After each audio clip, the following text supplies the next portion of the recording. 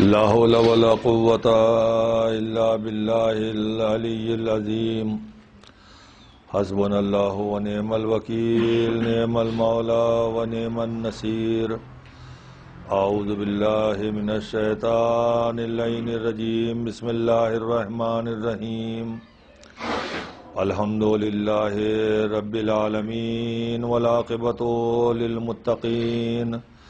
والجنة للمواحدين والنار للملحدين والصلاة والسلام على أشرف الأنبياء والمرسلين سيدنا وشفينا ونبينا بالقاسم محمد.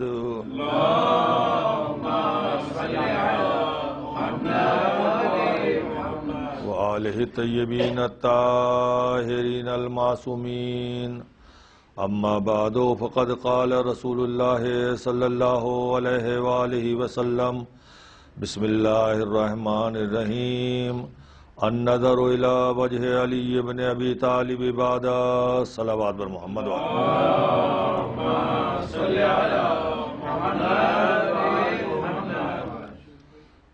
عزیزان محترم، حسنین بھائی کے والد یاور حسین صاحب بھی عاشق حسین اور آزادار امام حسین علیہ السلام تھے۔ اور آزاداری سے ان کو محبت تھی۔ اپنے والد کے نقش قدم پر چلتے ہوئے آزاداری کو فروغ دینے میں منہمک ہیں۔ خدا ہر ایک کو ایسی نیک و سعید اولاد عطا فرمائے جو اپنے باپ کے نقش قدم پر چلے۔ ایک مرتبہ یاور حسین صاحب کے لیے سورہ فاتحہ پڑھ دیں بسم اللہ صراط الذين أنعمت عليهم غير المغضوب عليهم ولا الضالين اللهم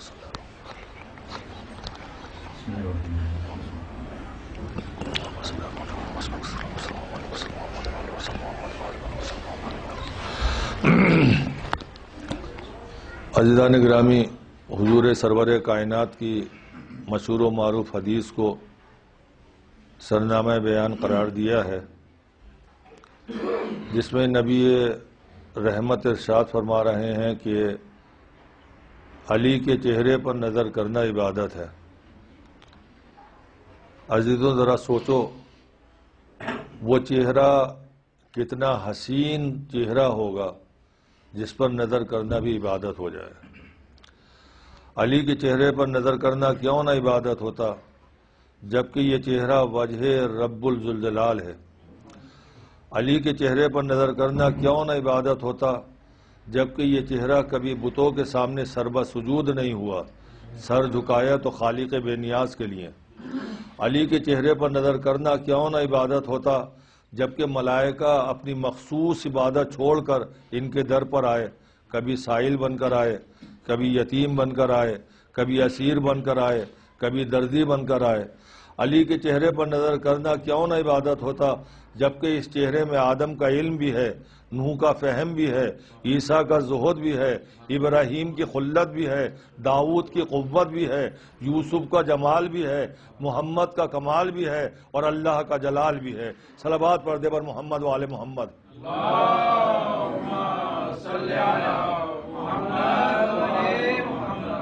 علی کے چہرے پر نظر کرنا کیوں نہ عبادت ہوتا جبکہ یہ چہرہ وہ چہرہ ہے کہ جب بدر میں پہنچا تو بجلی بن کر کفر پر گرا احد میں آیا تو پروانہ وار رسول کا محافظ بنا، خندق میں آیا تو کل ایمان کہلایا، خیبر میں آیا تو کرار و غیر فرار کر آیا بستر رسول پر آیا تو ہو بہو شبیہ محمد نظر آیا، غدیر کے میدان میں آیا تو مومنین کا مولا بن گیا، جنت میں آیا تو امیر جنت نظر آیا، کوثر پر آیا تو ساقی کوثر بن گیا، کعبے میں آیا تو مولود کعبہ بن گیا۔ صلوات پردے پر محمد وآل محمد۔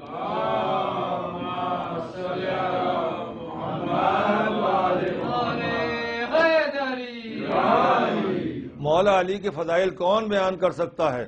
اگر دنیا کے سمندر سیاہی بن جائیں، تمام درخت قلم بن جائیں، زمین و آسمان ورق بن جائیں اور تمام جنوں انس و ملائکہ مل کر مولا کے فضائل لکھیں، تب بھی مولا کے فضائل مکمل نہیں ہو سکتے ہیں۔ اور سب سے بڑی علی کی فضیلت تو یہ ہے کہ آپ کی ولادت خانہ کعبہ میں ہوئی ہے۔ آج تک نہ کوئی شخص خانہ کعبہ میں پیدا ہوا ہے اور نہ قیامت تک خانہ کعبہ میں پیدا ہو سکتا ہے۔ یاد کیجیے تیرہ رجب کی وہ تاریخ جب فاطمہ بنت اسد آہستہ آہستہ کعبے کی سمت جا رہی تھی پشت کعبہ پر پہنچی تو اپنے شکم مبارک کو دیوار کعبہ سے مس کر کے کہا کہ اللہ میری مشکل کو آسان کر دے۔ مشکل کشا کی ماں تھی، مشکل کیوں نہ آسان ہوتی؟ دیوار کعبہ نے مسکرا کے راستہ دیا اور فاطمہ بنت اسد کعبے کے اندر داخل ہوئی اس کے بعد دیوار پھر اپنی اصلی حالت میں آ گئی، یہی تاریخ بتاتی ہے۔ لیکن جب کہیں بھی کوئی عجیب و غریب واقعہ ہوتا ہے، تو اس کا چرچا بھی بہت تیزی کے ساتھ آگے بڑھتا ہے۔ ابھی یہاں کوئی ایسا واقعہ پیش آ جائے تو پورے افریقہ میں دو منٹ میں ٹیلی فون کے ذریعے سے خبر پہنچ جائے گی، عجیب و غریب واقعہ یہاں پہ ہوا ہے۔ تو جب کوئی عجیب و غریب واقعہ ہوتا تو اس کا چرچا بڑی تیزی کے ساتھ پھیلتا ہے۔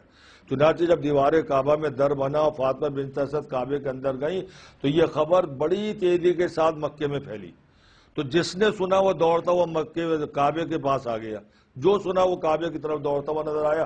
بچے بھی آئے، جوان بھی آئے، بوڑھے بھی آئے، مرد بھی آئے، عورتیں بھی آئیں اور سب اس جگہ پہ جمع ہو گئے جہاں پہ نیا در بنا تھا۔ اور ہر ایک آدمی اشاروں سے بتا رہا تھا، یہی وہ دیوار ہے، یہی وہ جگہ ہے جہاں پر در بنا تھا۔ فاطمہ بنت اسد، ابو طالب کی بیوی اس کے اندر گئی ہیں۔ جب کافی دیر تک یہ چرچا ہوتی رہی اور جناب ابو طالب نہیں آئے تو کچھ لوگوں کو خیال آیا کہ چل کے ابو طالب سے بھی تو کہا جائے۔ اس لیے کہ یہ وہ زمانہ تھا جب جناب ابو طالب کعبے کے متولی تھے ٹرسٹی تھے۔ چابیاں کعبے کی انہی کے پاس سے دروازے پہ تالا تھا، کوئی اندر جا کے دیکھ بھی نہیں سکتا تھا کہ فاطمہ بنت اسد کی سال میں ہے۔ لہذا کچھ لوگ جناب ابو طالب کے پاس گئے۔ اور جانے کے بعد انہوں نے جناب ابو طالب سے کہا، اس طرح سے تمہاری بیوی کعبے کے اندر گئی ہیں، وہ خاموش بیٹھے رہے۔ اس کے بعد دوبارہ انہوں نے کہا کہ آپ کی بیوی کو خطرہ ہے۔ اور چل کے دیکھ لیجیے، انہوں نے کوئی جواب نہیں دیا۔ تیسری مرتبہ آنے والے وقت نے ان سے کہا، بگڑ کے کہا کہ آپ کی بیوی ہیں اور خطرے میں ہے اور آپ مطمئن بیٹھے ہیں، ہم آپ کو بار بار بتا رہے ہیں۔ تو جناب ابو طالب نے کہا، نہیں، مجھے کچھ بھی فکر کرنے کی ضرورت نہیں ہے۔ کہا، کیوں فکر کرنے کی ضرورت نہیں ہے؟ تمہاری تو بیوی ہے۔ کہا، میری بیوی ہے، مجھے فکر نہیں ہے، تو تم کو آئے کی فکر کر رہے ہو؟ کہا، تم کو فکر کیوں نہیں ہے؟ تو جناب ابو طالب نے کہا، فکر اس لیے نہیں ہے کہ جس کے گھر گئی ہیں، اس سے بڑا کوئی محافظ نہیں ہے۔ سلامات پردے پر محمد والے محمد۔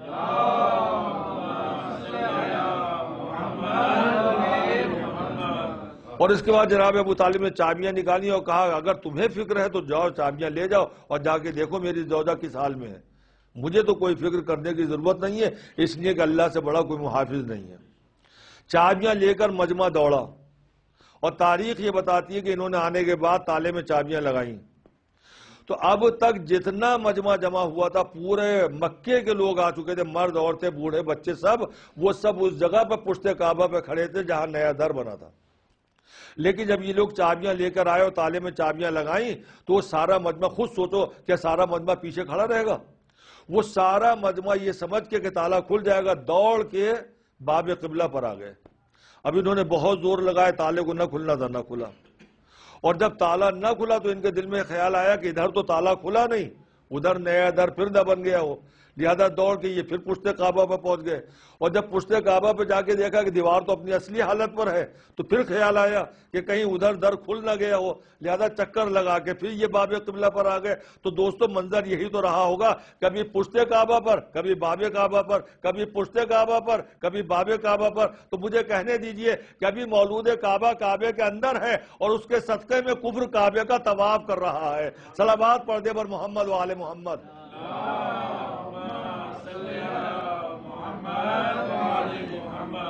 تین دن تک فاطمہ بنت اسد کعبے کے اندر رہی مکے اور اطراف مکے کے لوگ وہاں جمع ہو گئے۔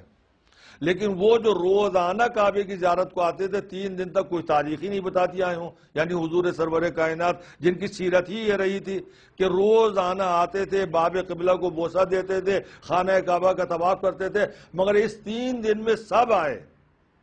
نہیں آئے تو محمد نہیں آئے۔ یہ تاریخ ہے۔ اور تین دن کے بعد جب حضور کو لوگوں نے آتے ہوئے دیکھا تو سب نے راستہ دے دیا۔ کسی نے باب قبلہ کی طرف کا راستہ نہیں دیا، نہ حضور کے قدم باب قبلہ کی طرف اٹھے، بلکہ وہ بھی پشتے قبلہ پر پہنچے۔ اور جیسے ہی نبی کے قدم پشتے کعبہ پر پہنچے، ویسی دیوار کعبہ نے پھر مسکرانا شروع کیا۔ اور کعبے میں نیا در بن گیا۔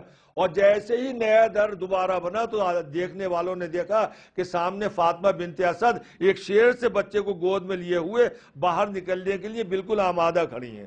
ایسا نہیں ہے کہ کوئی تاریخ یہ بتائے کہ حضور نے آواز دی چچی جان نکل آئیے میں آ گیا ہوں۔ اور اس کے بعد فاطمہ بنت اسد نے جلدی جلدی بچے کو اٹھایا ہو اور لے کے نکلی ہو۔ نہیں، تاریخ یہ بتا دی، ادھر نیا در دوبارہ کھلا اور ادھر لوگوں کی نگاہیں اٹھی تو فاطمہ بنت اسد اسی جگہ پر بچے کو لیے ہوئے باہر نکلنے کے لیے آمادہ تھی۔ یعنی فاطمہ بنت اسد کو بھی معلوم تھا کہ اب نیا در دوبارہ کب کھلنے والا ہے۔ سلامات پردے پر محمد وال محمد۔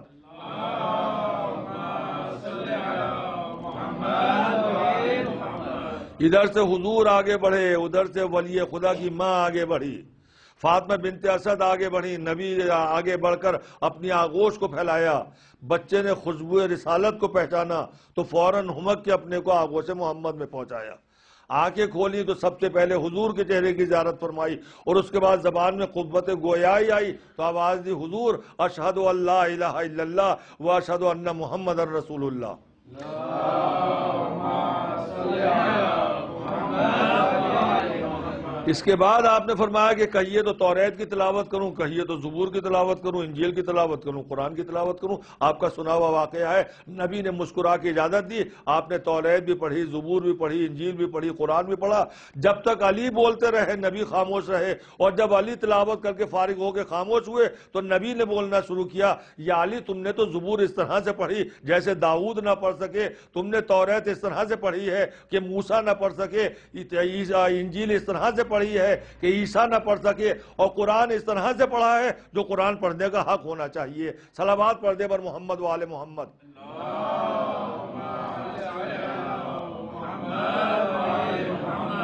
آج چودہ سو سال کے بعد جب ہم اس واقعے کو اپنے ممبر سے بیان کرتے ہیں کہ تین دن کے علی تھے جنہوں نے پیدا ہوتے ہی آغوش سے رسول میں آنے کے بعد آسمانی کتابوں کی تلاوت فرمائی۔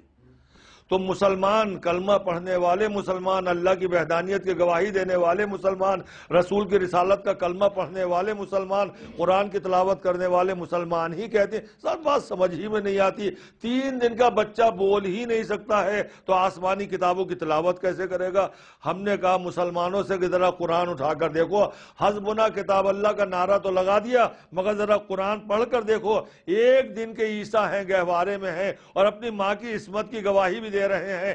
انی عبداللہ عطانی الکتاب و جالانی نبیہ میں اللہ کا بندہ ہوں اور صاحب کتاب نبی بھی ہوں۔ ایک دن کے عیسیٰ بولے، ہم نے کہا ایک دن کے عیسیٰ بولے کا بات سمجھ میں آتی ہے؟ ذرا سوچو، ایک دن کے عیسیٰ بولے تو ان کی بات سمجھ میں آتی ہے، اور تین دن کے فخر عیسیٰ بولے تو ان کی سمجھ ہی میں نہیں آتا ہے۔ سلامات پردے پر محمد والے محمد۔ اللہ اب آپ کتنی ہی گواہیاں دیں، کتنی دلیلیں دیں، ان کی سمجھ میں آنے والی بات نہیں ہے، نہیں آئے گی۔ لیکن ایک دلیل تاریخ میں ایسی بھی ہے کہ جس سے کوئی انکار ہی نہیں کر سکتا۔ ہم یہ نہیں کہتے کہ میرے مولا بولے۔ ہم کہتے ہیں دست رسول پر آنے کے بعد میرے مولا بولے۔ فرق محسوس کیجیے۔ ایک تاریخ میں واقعہ ایسا ہے جس کا کوئی انکار ہی نہیں کرتا۔ مسلمانوں کے تہتر فرقے بلکہ اس سے بھی زیادہ ہو گئے ہوں گے۔ ہر فرقہ کہتا ہے یہ واقعہ بالکل سچا، کسی کے پاس چل جائیے، وہابیوں کے پاس چلے جائیے، دیوبندیوں کے پاس چلے جائیے شیوں کے پاس چلے جائیے، سنیوں کے پاس چلے جائیے، اہل حدیث کے پاس چلے جائیے، کہا یہ واقعہ تاریخ میں کا بالکل سچا واقعہ۔ ہر ایک مانتا ہے اس واقعے کو جو میں آپ کو پیش کر رہا ہوں دلیل میں۔ اور وہ واقعہ یہ ہے کہ ایک مرتبہ چند یہودی نبی رحمت کے پاس آئے۔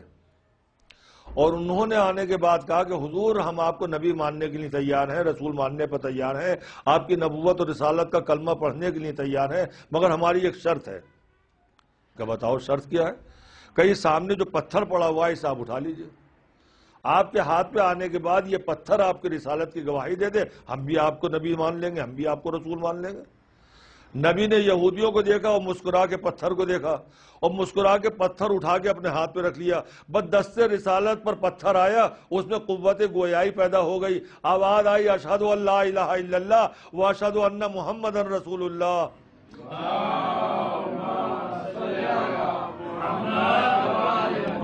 اب مجھے واقع آگے نہیں پڑھنا کہ اس کے بعد یہودی ایمان لایا تھا یا نہیں لایا تھا۔ یہ یہودی نے حضور کی رسالت کا کلمہ پڑھا تھا یا نہیں پڑھا تھا؟ حضور کو نبی مانا تھا یا نہیں مانا تھا؟ نہیں، اس واقعے کو یہیں روک کر میں آپ سے سوال کرنا چاہتا ہوں کہ جب ہم دنیا کے تمام مسلمانوں سے پوچھتے ہیں کہ دست رسالت پر آنے کے بعد پتھر بولے، تو مسلمان کہتے ہیں واقعہ بالکل سچا ہے۔ اور جب ہم کہتے ہیں کہ دست رسالت پر آنے کے بعد حیدر بولے بات سمجھ میں نہیں آتی۔ ارے دوستو، سوچو، پتھر کی بات سمجھ میں آتی ہے، مگر حیدر کی بات سمجھ میں نہیں آتی۔ سلامات پردے پر محمد والے محمد۔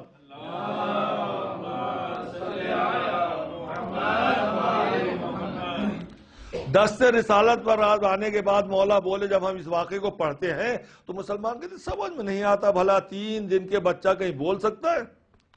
اور اس کے بعد دوسری بات پیش کی جاتی ہے کہ اچھا یہ بتائیے کہ نبی کون تھے؟ ہم نے کہا وہ رسول تھے۔ نبی تھے، اللہ کے محبوب تھے۔ اور علی کون تھے؟ ہم نے کہا وہ ان کے ولی تھے، ان کے جانشین تھے، ان کے خلیفہ تھے، ان کے وزیر تھے۔ کہ یہ بتاؤ قرآن کس پہ نازل ہوا؟ ہم نے کہا نبی پہ نازل ہوا۔ تو نبی کون ہوا؟ ہم نے کہا صاحب قرآن۔ اور علی کون ہے؟ ہم نے کہا وہ ہے محافظ قرآن۔ کہ یہی تو بات سمجھ میں نہیں آتی کہ جو نبی بن کر آیا تھا، جس پر قرآن کو نازل ہونا تھا، جو صاحب قرآن تھا وہ تو پیدا ہونے کے بعد چالیس سال تک خاموش رہا۔ ایک لائت کی تلاوت نہیں کی۔ چالیس سال تک نبی کا یہی بات ہماری سمجھ نہیں آتی۔ چالیس سال تک وہ تو خاموش رہے، جو نبی بن کر آئے تھے، جو رسول بن کر آئے تھے، جن پر قرآن کو نازل ہونا تھا۔ ہونا تو یہ چاہیے تھا، پیدا ہوتے ہی وہ قرآن پڑھتے۔ وہ تو چالیس سال تک خاموش رہے۔ اور جو محافظ قرآن بن کر آیا تھا، جانشین بن کر آیا تھا، اس نے پیدا ہوتے ہی نہ صرف قرآن پڑھا تو انجیل، زبور، سبھی پڑھ ڈالا۔ تو ہماری سمجھ میں یہ نہیں آتا مسلمان ہم سے سوال کرتے ہیں کہ نبی خاموش کیوں رہے؟ اور علی نے پیدا ہوتے ہی آسمانی کتابوں کی تلاوت کیوں کر دی؟ بس میں اسی مسئلے کو آخری بات آپ کے سامنے پیش کر کے آپ کی زحمت کو تمام کروں گا کہ نبی نے پیدا ہوتے ہی قرآن کیوں نہیں پڑھا اور علی نے پیدا ہوتے ہی قرآن کیوں پڑھ دیا؟ ایک مرتبہ سلوات پڑھ دے بر محمد والے محمد۔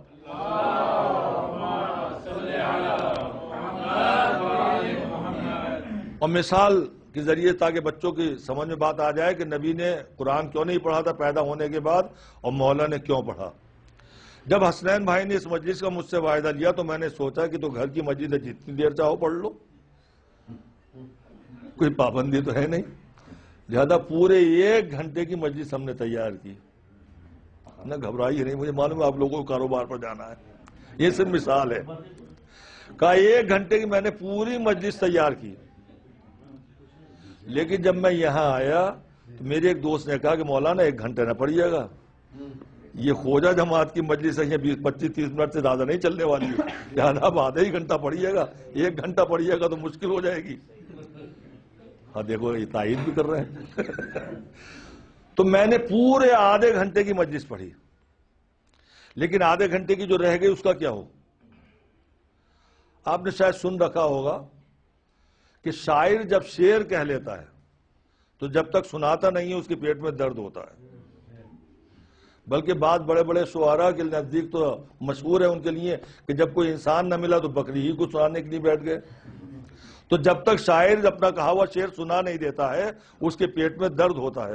تو سوچو، ایک گھنٹے کی تیار کی تھی، آدھے گھنٹے پڑھی۔ اب آدھے گھنٹے کی جو رہ گئی، اس کا کیا ہو؟ تو شاعر کی طرح میرے پیٹ میں بھی درد ہوا۔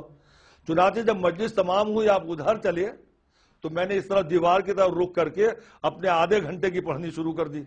جو باقی بچی تھی، وہ ادھر کو پڑھنے رک کر کے پڑھ اور ویسے ہی جیسے ممبر سے پڑھ رہا تھا، ویسے ہی دیوار کی طرف رک کر کے میں نے پڑھنا شروع کر دیا۔ اب آپ صحیح بتائیے کہ جاتے ہوئے قدم رکیں گے یا نہیں رکیں گے یا آپ چلے جائیں گے۔ کوئی ایک بچہ بھی ادھر نہیں جائے گا۔ کیونکہ میں نے بتایا نا عجیب و غریب جب کوئی واقعہ ہوتا ہے تو لوگ جو نہیں ہوتے وہ بھی آ جاتے ہیں۔ تو جب آپ دیکھا کہ میں عجیب و غریب حرکت کر رہا ہوں جو آج تک کسی کو کرتے ہوئے نہیں دیکھا تھا، تو آپ تبرر لے کے جو اپنے گھروں کو جانے والے سب پلٹ آئے۔ بلکہ جنہیں خبر ملی وہ بھی آ گئے کہ یہ کیا ہونے لگا۔ آج تک تو کسی عالم کو دیکھا نہیں تھا کہ دیوار کی طرف رک کر کے مسجد پڑھ رہا ہو تو جب نیا واقعہ دیکھا تو کوئی بھی نہیں گیا، سب میرے آپ پیچھے آگے کھڑے ہو گئے۔ میں دیوار کی طرف رک کر کے اپنے آدھے گھنٹے کی مجلس جو باقی رہ گئی تھی، وہ سناتا رہا۔ آپ میرے پیچھے کھڑے ہو کے اشارے کرنے لگے۔ ہو گیا کچھ بچارے اچھے خاصے تو تھے۔ کل بھی مسجد پڑھی تھی اچھا خاصی مسجد پڑھی تھی۔ مسجد سے پہلے بھی ہم لوگوں سے گفتگو کر رہے تھے اچھی خاصی گفتگو کر رہے تھے، عقل مند معلوم ہوتے تھے، ذہین معلوم ہوتے تھے پڑھے لکھے مگر یہ کیا ہو گیا؟ کسی نے کہا پاگل ہو گئے، کسی نے کہا دیوانے ہو گئے۔ اور آپ لوگوں کے لحاظ سے کہا جائے تو ہوا کا اثر ہو گیا، جن کا اثر ہو گیا، بھوت کا اثر ہو گیا۔ لاؤ کسی ملا جی کو بلاؤ، کوئی تعویذ وابیز کر دیں گے، پانی وانی پڑھ کے پھوک کے دے دیں گے، تو مولانا صحیح ہو جائیں گے۔ آپ لوگ آپس میں یہ اشارے کرتے رہے اور میں آدھے گھنٹے کی مجلس پڑھتا رہا۔ جب میں نے پوری مجلس تمام کی اور پیچھے مڑ کے آپ لوگوں کو دیکھا تو ہنستے ہوئے دیکھا، مسکراتے ہوئے دیکھا، اشارے کرتے ہوئے دیکھا، تو میں نے کہا، کیوں ہنس رہے ہو بھائی؟ کیوں مسکرا رہے ہو؟ یہ کہے کے اشارے ہو رہے ہیں؟ تو آپ نے کہا، مولانا آپ حرکت ہی ایسی کر رہے ہیں؟ دیکھیے اصل مسئلہ ذہن میں رکھیے گا کہ نبی نے پیدا ہوتے ہی قرآن کی تلاوت کیوں نہیں کی اور علی نے پیدا ہوتے ہی قرآن کی تلاوت کیوں کر دی؟ میں نے کہا کیوں ہنس رہے ہو؟ کیوں مسکرا رہے ہو؟ کیوں اشارے کر رہے ہو؟ کہ آپ حرکت ہی ایسی کر رہے ہیں؟ تو میں نے کہا یہی حرکت تو میں ممبر سے کر رہا تھا، آپ بڑی توجہ کے ساتھ سن رہے تھے۔ اور یہی حرکت میں دیوار کی طرف رخ کر کے کر رہا ہوں تو آپ ہنس رہے ہیں، مسکرا رہے ہیں۔ مجھے دیوانہ اور پاگل ہو پاگل کہہ رہے ہیں۔ آخر کیا فرق ہو گیا؟ تو انہوں نے کہا، آپ لوگوں نے سب نے مل کے کہا، مولانا جب آپ ممبر سے گفتگو کر رہے تھے، تو وہ تھی آپ کی عقل مندی کا ثبوت۔ اور جب وہی گفتگو آپ دیوار کی طرف رخ کر کے کر رہے ہو، تو یہ ہے آپ کے پاگل پن کا ثبوت۔ توجہ۔ اگر آپ دیوار کی طرف رخ کر کے کر رہے ہو، یہ آپ کا ہے پاگل پن کا ثبوت۔ میں نے کہا، کیوں؟ کہا، جب بات کہی جاتی ہے تصدیق کرنے والے مجمع کے سامنے تائید کرنے والے مجمع کے سامنے، تو وہ بات ہوتی ہے عقل مندی کا ثبوت۔ اور جب بات کہی جاتی ہے بے فہم دیوار کی طرف رک کر کے نہ سمجھ دیوار کی طرف رک کر کے، گونگی دیوار کی طرف رک کر کے بات کہی جاتی ہے، تو وہ ہوتا پاگل پن کا ثبوت۔ اب آپ سمجھے جب نبی پیدا ہوئے تو قرآن کیوں نہیں پڑھا؟ علی پیدا ہوئے تو قرآن کیوں پڑھ دیا؟ جب نبی پیدا ہوئے تھے کوئی تائید کرنے والا نہیں تھا، کوئی سمجھنے والا نہیں تھا، اس لیے نبی خاموش ہے علی پیدا ہوئے تو تائید کرنے کے لیے نبی موجود تھے، لہذا انہوں نے قرآن بھی پڑھا تو بھی پڑھی۔ سلامات پڑھ دے پر محمد وال محمد۔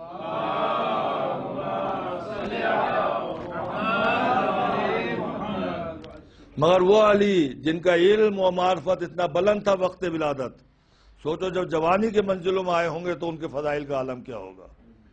اور یہی تو فضائل تھے جن کی وجہ سے مولا کی طرف سے لوگوں کے دل میں حسد پیدا ہوا اور دشمنی پیدا ہوئی۔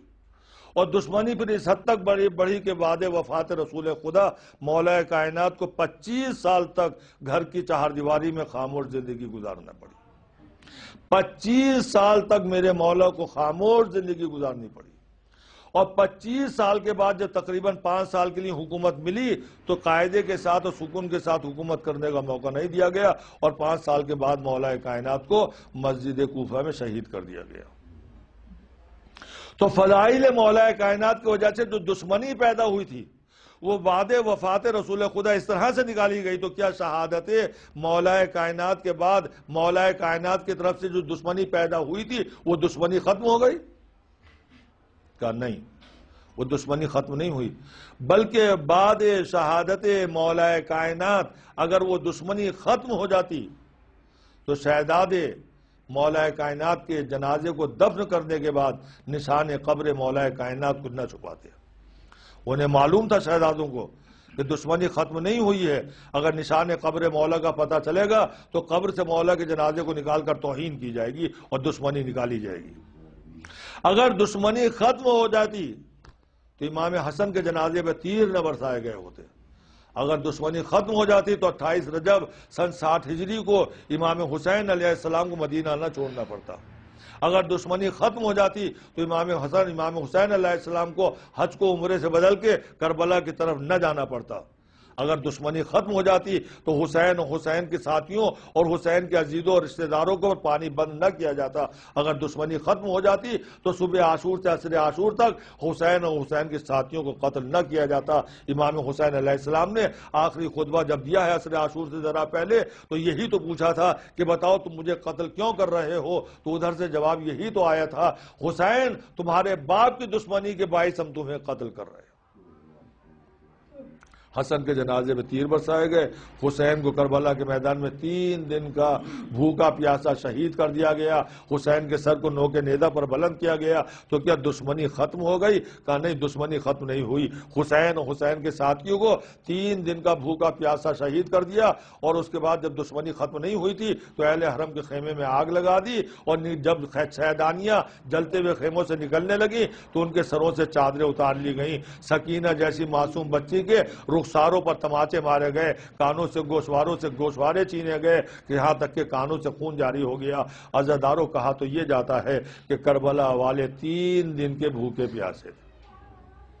عزیز و محرم کا چاند ابھی فلک پر نمودار نہیں ہوا ہے۔ ہم نے مجلس اعضا کے لیے فرش اعضا بچھا دیا، مولا کے استقبال کے لیے مولا تشریف لائیے۔ مولا تشریف لائیے سب اعضا بچ چکی ہے، ہم نے اپنے گھروں کو سجا دیا ہے۔ امام کا حکم ہے کہ زیادہ سے زیادہ مجالس کو فروغ دیجیے۔ اس لیے کہ جب آپ سفیادہ اپنے گھر میں بچھاتے ہیں تو حسین کی دکھیا ماں فاطمہ زہرہ پرسہ لینے کے لیے آتی ہے۔ آئی میں معصومین اور رسول خدا آپ کے گھر آتے ہیں۔ آئی من تائید کی تاکید کی ہے کہ زیادہ سے زیادہ فروغ دیا جائے مجلس ادا کو۔ آج نائب امام عالم وقت بھی حکم دیتا ہے کہ زیادہ سے زیادہ مجلس حسین برپا کرو اور امام حسین کا غم و ماتم بناؤ مختصر ہی صحیح، ہر گھر میں سفیادہ بچنی چاہیے۔ عزیزوں، کہا یہ جاتا ہے کہ جن کی ہم نے سفیادہ بچھائی ہے، وہ تین دن کے بھوکے پیاسے، تین دن کے بھوکے پیاسے۔ میرے عزاداروں، کربلا کے میدان میں جو شہید ہو گئے، آپ کہہ سکتے ہیں وہ تین دن کے بھوکے اور پیاسے تھے۔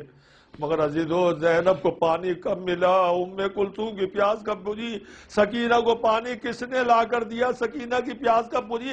کیا کوئی اندازہ لگا سکتا ہے؟ کربلا میں جو شہید ہو گئے، وہ تین دن کے بھوکے اور پیاسے تھے۔ مگر عزیزو سکینہ کو پانی کس نے پلایا؟ کب دیا؟ کون بتائے؟ تاریخ یہ کہتی ہے کہ شام غریبہ میں پانی آیا تھا۔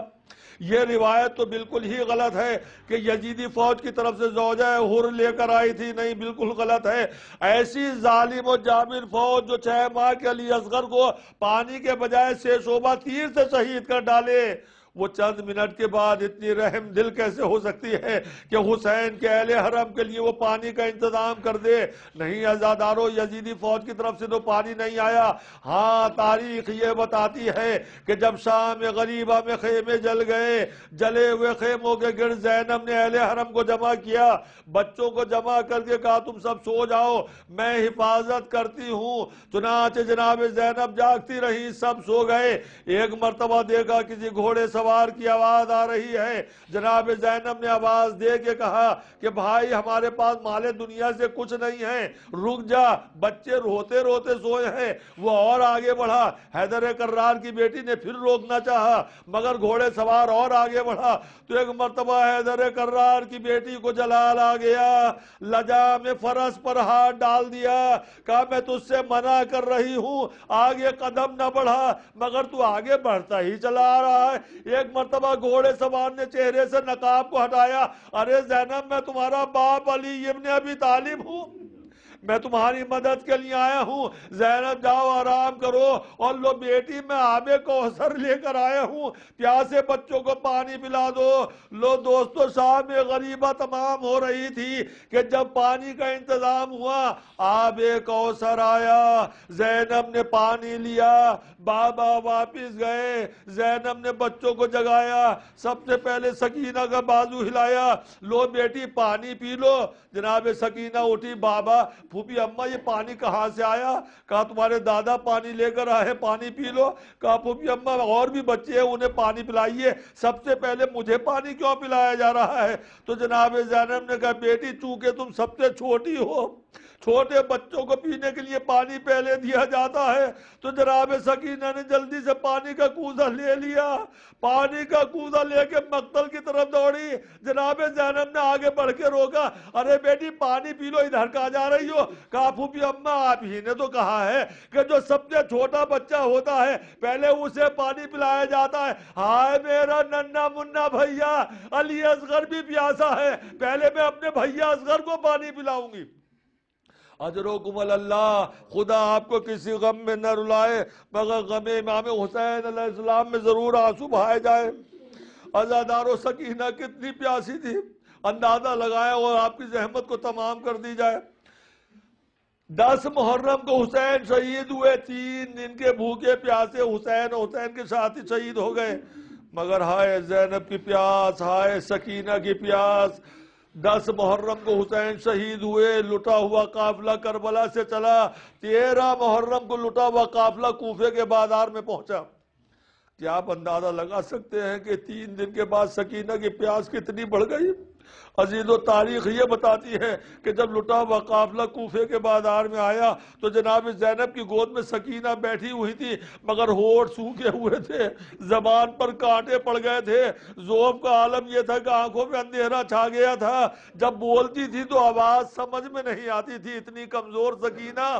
ایک مرتبہ زینب نے محسوس کیا کہ سکینہ نے اپنے بابا کے کٹے ہوئے سر کو دیکھ کر رونے لگی۔ کچھ کہا زینب نہ سمجھ سکی۔ سکینہ نے اپنے چچا کے کٹے ہوئے سر کو دیکھا، رونے لگی۔ کچھ کہا زینب نہ سمجھ سکی۔ اپنے بھائی علی اکبر کے کٹے ہوئے سر کو دیکھا، سکینہ رونے لگی۔ لیکن زینب نہ سمجھ سکی۔ ایک مرتبہ زینب نے سر کو جھکا کے کہا، بیٹی اپنے بابا سے کیا کہنا چاہتی ہو؟ اپنے چچا سے کیا کہنا چاہتی ہو؟ اپنے بھیا سے کیا کہنا چاہتی ہو؟ بیٹی تمہارے بابا اور چچا تو شہید ہو گئے، جو ان سے کہنا چاہتی ہو مجھ سے کہو۔ تو جناب سکینہ نے کہا پھوپی اماں، آپ کو تو مجبور پاتی ہوں۔ کہا پھوپی اماں نے کہا، بیٹا، تجھے میرے حق کی قسم، بتا کیا کہنا چاہتی ہے؟ ایک مرتبہ جناب سکینہ نے سر کو جھکا کے کہا پھوپی اماں، پیاس لگی ہے۔ ساکی کوثر کی پوتی پانی مانگ رہی ہے۔ ساکی کوثر کی بیٹی کا سر جھک گیا۔ لیکن چھت پہ بیٹھی بھی ایک عورت نے محسوس کر لیا۔ اس نے کہا بی بی تمہاری بچی پیاسی تو نہیں رہ سکتی۔ میں ابھی پانی لے کر آتی ہوں۔ وہ دوڑی بھی گئی ہے ڈھنڈا پانی کا کوزہ لے کر آئی۔ لو بی بی اپنی بچی کو پانی پلا دو۔ جناب زینب نے سکینہ کے ہاتھ پر ٹھنڈے کوزے کا پانی رکھ دیا۔ اس عورت کی آواز آئی بی بی جب تمہاری بچی پانی پی لے تو میرے لیے دعا کرا دینا۔ اس لیے کہ سنا یہ ہے کہ تم جیسے یتیم اور اسیروں کی دعا قبول حیدر کرار کی بیٹی نے سکینہ کے ہاتھ پر ہاتھ رکھ دیا، بیٹی پانی نہ پینا، پانی بعد میں پینا، پہلے اس کے لیے دعا کر دو۔ کہا بی بی یہ بتاؤ کہ تمہاری دعا کیا ہے؟ کہا، میری پہلی دعا تو یہ ہے کہ تمہارے میرے بچے تم جیسے بچوں کے یتیم اور اسیر نہ ہو۔ زینب رونے لگی، مگر سکینہ نے پھٹے ہوئے کرتے کے دامن کو اٹھایا۔ ننے ننے ہاتھوں کو اٹھایا، آسمان کو دیکھا۔ اے خدا، تجھے میرے بابا کے کٹے ہوئے سر کا واسطہ۔ اے خدا، تجھے میرے چچا کے کٹے ہوئے بازوؤں کا واسطہ۔ اے خدا، تجھے میرے بھائیا کے زخمی کلیجے کا واسطہ۔ اس کے بچے مجھ جیسے یتیم اور اسیر نہ ہوں۔ کہا دوسری دعا بتا کیا ہے؟ اس نے کہا، میری دوسری دعا یہ ہے کہ میں جلد از جلد رسول کے مدینے چلی جاؤں۔ ہائے ازادارو کسی پر کو پردیس میں اپنا وطن یاد نہ آئے۔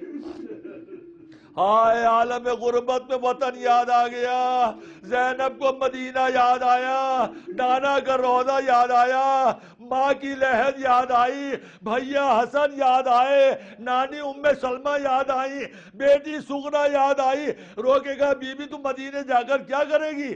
کہا، مدینے میں میری شہزادی فاطمہ زہرہ کا گھر ہے۔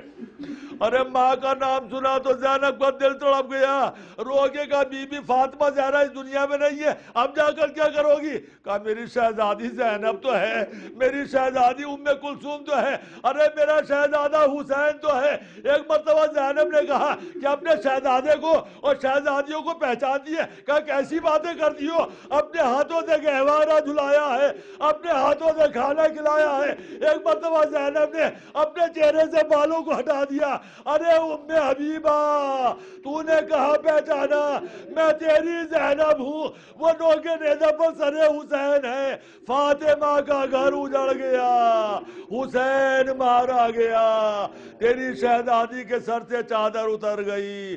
سیالم اللذین ظلمون ایام انقلبی انقلبون اللہ لعنت اللہ للقوم الظالمین۔ رضن بقضائہی و تسلیما لعمرہ الہی بحق زہرہ، الہی بحق زہرہ، الہی بحق زہرہ. الہی چاردہ معصومین کا واسطہ ہماری اس مختصر سی مجلس کو قبول فرما۔ پالنے والے اس مختصر سی مجلس کا واسطہ اور چاردہ معصومین کا واسطہ، ہم میں جو پریشان حال ہے ان کی پریشانی کو دور فرما، جو غریب ہیں، ان کی غربت کو دور فرما، جو مریض ہیں، انہیں صحت و شفا عطا فرما، شیعان حیدر کرار کی حفاظت فرما، دشمنان شیعان حیدر کرار کو نیست و نابود فرما، امام کا ظہور جلد از جلد فرما، ہمیں ان کے عوام انصار میں شامل فرما۔